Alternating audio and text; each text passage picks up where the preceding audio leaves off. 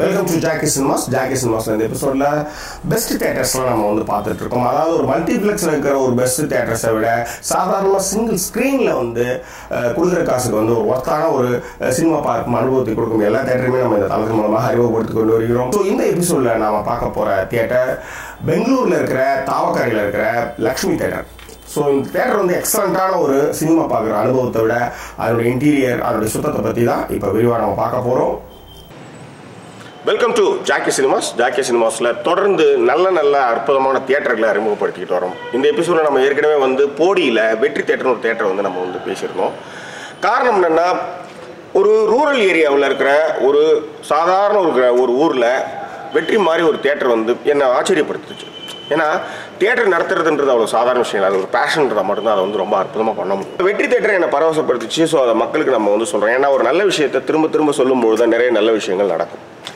So இந்த எபிசோடில் நம்ம வந்து அது மாதிரி ஒரு நல்ல ஒரு தேட்டரை வந்து நம்ம வந்து உங்களுக்கு அறிமுகப்படுத்த போகிறோம் இந்த தியேட்டர் லக்ஷ்மி தேட்டர் இப்போ நான் நின்று பேசிகிட்டு இருக்கிறது பெங்களூரில் இருக்கிற லக்ஷ்மி தேட்டர் இந்த தியேட்டர் மடிவாலாவுக்கு பக்கத்தில் தாவரக்கரை அப்படின்ற ஒரு ஊரில் இந்த தேட்டர் ஒன்று தேட்டர் இருக்குது. இந்த தேட்டரோட சிறப்பம்சம் என்னென்னா ஒரு செவன்டி எம்எம் ஸ்க்ரீன் அளவுக்கான மிகப்பெரிய ஒரு தேட்டர் இந்த தேட்டரில் இருக்கிற பெரிய ப்ளஸ் பாயிண்ட்ஸ் அப்படின்னா இந்த தேட்டருடைய சீட்டிங் அரேஞ்ச்மெண்ட்ஸ் வந்து அவ்வளோ அற்புதமாக இருக்கும். எனக்கு ஏன்னா யாருடைய தலையுமே மறைக்காது. ஒரு திரைப்படத்தை பார்க்கும் ரசிகன் வந்து உட்காந்தானே எதிர்க்கிறவங்க தலையை பார்க்கறதுக்காக நூற்றி இருபது ரூபா டிக்கெட் கொடுத்துட்டு வரல. நூற்றி இருபது ரூபா பணம் கொடுத்துட்டு வரல. ஸோ இந்த தேட்டரை பொறுத்தவரையிலையும் சீட்டிங் அரேஞ்ச்மெண்ட் வந்து அவ்வளோ அற்புதமாக இருக்கும். எங்கே இருந்தாலும் நீங்கள் வந்து ஸ்க்ரீனை வந்து பக்காவாக பார்க்கலாம். இது வந்து ஒரு சில்வர் ஸ்க்ரீனு இதில் வந்து த்ரீ டி படம்லாம் நிறைய ரிலீஸ் பண்ணியிருக்காங்க. அவ்வளோ அற்புதமான டிடிஎஸ் சவுண்டு இதனுடைய ஆம்பியன்ஸ் எல்லாம் அவ்வளோ அற்புதமாக இருக்கும். ஸோ நூறுரூபாய்க்கான அந்த சீட்டை நீங்கள் பார்த்தீங்கன்னா தெரியும். ரோலிங் ಫ್ಯಾಂಟಾಸ್ಟಿಕ್ಕಾன ಸೀಟಿಂಗ್ ಅರೇಂಜ್ಮೆಂಟ್ ಇದೆ. ನಾನು ರಾಜಣ್ಣ ಅಂತೇಳಿ ಚಿತ್ರ, ಲಕ್ಷ್ಮೀ ಚಿತ್ರಮಂದಿರದ ವ್ಯವಸ್ಥಾಪಕರು. ಮತ್ತು ಲಕ್ಷ್ಮೀ ಚಿತ್ರಮಂದಿರ ಸ್ಥಾಪನೆಯಾಗಿ ಸಾವಿರದ ಒಂಬೈನೂರ ತೊಂಬತ್ನಾಲ್ಕರಲ್ಲಿ ಇಲ್ಲಿ ಅಂದರೆ ಇಪ್ಪತ್ತ ಆರು ವರ್ಷ ಆಗಿದೆ.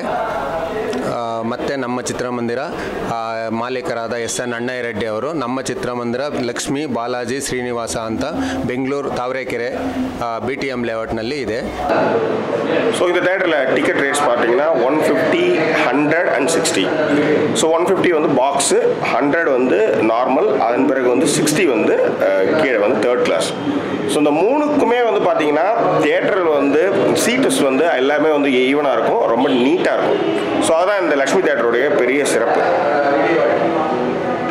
ஒரு தியேட்டர் ரன் பண்ணுறதுன்றது ஒரு பேஷன் இருந்தால் மட்டும்தான் ஒரு தியேட்டர் வந்து அவ்வளோ அழகாக சுத்தமாக ரன் பண்ண முடியும். ஏன்னா தியேட்டருக்கு வர்றவங்க எல்லாருமே மனுஷங்க. அவங்க ரோபோஸ் கிடையாது. அவங்களுக்கு இயந்திரம் கிடையாது. அவங்களுக்கு மனவனவர்கள் இருக்குன்னு புரிஞ்சுக்கணும்.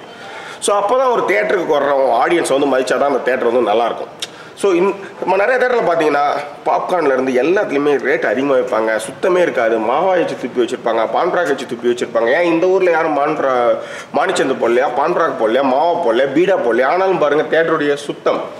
சைடில் இதெல்லாம் நீங்கள் பார்த்தீங்கன்னா அவ்வளோ அற்புதமாக இருக்கும். எந்த இடத்துலையுமே ஒரு எச்சுக்கார கூட நீங்கள் பார்க்க முடியாது. இதுதான் தேட்டர் ரன் பண்ணுறதுக்கான விஷயம். இத்தனைக்கும் வந்து இங்கே டிக்கெட் வாங்கிட்டு உள்ளே வரும்போது யாரையும் செக் பண்ணுறதில்ல யாரையும் வந்து செக் பண்ணாமல் உள்ள ஆரம்பிச்சிட்டு உள்ள ஆரம்பிச்சிட்ருக்காங்க எந்த இடத்துல வந்து நீங்கள் வந்து எச்சு துப்புனாலும் அதை வந்து உடனே தேட்டர் நிர்வாகம் வந்து பக்காவாக க்ளீன் பண்ணிடுறாங்க. ஸோ இந்த தேட்டர் வந்து இவ்வளோ சுத்தமாக இருக்கிறதுக்கு காரணம் டெய்லி மெயின்டெனன்ஸ் பண்ணுறது அதை விட இந்த தேட்டரோட பாத்ரூம்ஸ் வந்து அவ்வளோ க்ளீனாக வச்சுருக்காங்க. அதாவது ஒரு தியேட்டர் நல்லா இருந்தால் மட்டும்தான் ஒரு வீட்டிலேருந்து அத்தனை பேரும் கு- குடும்பத்தோட படம் பார்க்க வருவாங்க. ஒரு குடும்பத்தோட படம் பார்க்க வந்தால் தான் ஒரு வீட்டில் இருக்க வந்து ஆறு பேர்னு வச்சுக்காங்களேன் ஆறு பேரும் படம் பார்க்க வந்தால் அந்த தே- திரைப்படம் வந்து இன்னும் நிறைய நாள்கள் ஓடும். இந்த ஆறு பேரும் வந்து கேண்டீனில் வந்து பொருட்கள் வாங்கும்போது அவங்களுக்கு ரீசனபிளான விலையில் நீங்கள் வச்சா மட்டும்தான் வாங்க முடியும். இந்த தேட்டரில் பார்த்தீங்கன்னா முப்பது ரூபாய்க்கு பாப்கார்ன் முப்பது ரூபாய்க்கு காஃபி ஸோ இந்த மாதிரி ரொம்ப கம்மியாக இருக்குது பட் சென்னையில் நீங்கள் பார்த்தீங்கன்னா ஒரு தேட்டரில் பாப்கார்ன் வந்து எண்பது ரூபா காஃபி நாற்பது ரூபா ஐஸ்கிரீம் வந்து எழுபது ரூபாய் எண்பது ரூபாய் ஸோ இங்கே அதே மாதிரி சாண்ட்விச் பார்த்தீங்கன்னா அங்கெல்லாம் வந்து நூறுரூபா எண்பது ரூபா அப்படின்ட்டு. இங்கே எல்லாமே வந்து விலை குறைவாக நியாயமாக நடக்குது. ஏன்னா அப்போ தான் திரும்ப வந்து ரசிகர்கள் படம் பார்க்க திரும்ப வருவாங்க. ஸோ அதை தேட்டர் நிர்வாகம் கரெக்டாக பயன்படுத்துகிறாங்க அதனால தான் இவ்வளோ சுத்தமாகவும் இவ்வளோ நீட்டாகவும் ஒரு தேட்டரை வந்து ரன் பண்ண முடியுது. தேட்டர் பொறுத்தவரையும் எல்லாருமே இதுக்கு ரொம்ப உறுதுணையாக இருக்காங்க மிக முக்கியமாக ஒரு ஸ்டாஃப் வந்து மாட்டம் மேட்சமாக கோல போட்டோமா அப்படின்னு நினச்சிட்டு ஒரு வேலையை வந்து எதேச்சியா இல்லை வந்து அதை வந்து ரொம்ப அலட்சியமாக செஞ்சா இந்த சுத்தம் வந்து இந்த தேட்டரில் இருக்க வாய்ப்பே கிடையாது ஒரு விஷயத்தை வந்து ரொம்ப பெருமையாக ரொம்ப அதிகப்படியான நான் சொல்கிறேன் நீங்கள் இந்த தேட்டருடைய சுற்று வட்டாரத்தில் இருக்கிற எல்லா செவுத்தையுமே பாருங்கள்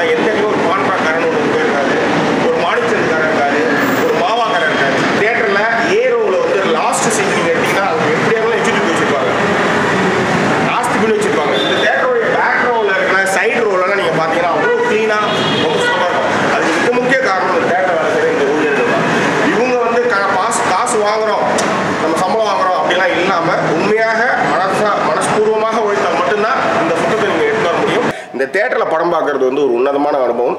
நிச்சயமாக நீங்கள் பெங்களூர் வந்தீங்கன்னா தாவரக்கரை மடிவாளாவுக்கு பக்கத்தில் இருக்கிற தாவரக்கரையில் லக்ஷ்மி தேட்டரில் அவசியம் படம் பாருங்கள் இதனுடைய இந்த படத்தை இதில் வந்து நீங்கள் படம் பார்க்குற எக்ஸ்பீரியன்ஸ் வந்து சூப்பராக இருக்கும். மிக முக்கியமாக ஆங்கில படங்கள்லாம் இங்கே இருக்கிற சவுண்ட் சிஸ்டம் வந்து அவ்வளோ சூப்பராக இருக்கும். வேற என்ன? இதே போன்று வேறொரு எபிசோடில் ஒரு நல்ல அழகான ஒரு தேட்டரையும் ஒரு அட்மாஸ்பியரையும் உங்களுக்கு நான் வந்து அறிமுகப்படுத்துகிறேன் அதுவரை உங்களிடம் நன்றி கூறி விடைபெறுவது உங்கள் ஜாக்கி ஷேக்கர் நன்றி வணக்கம்.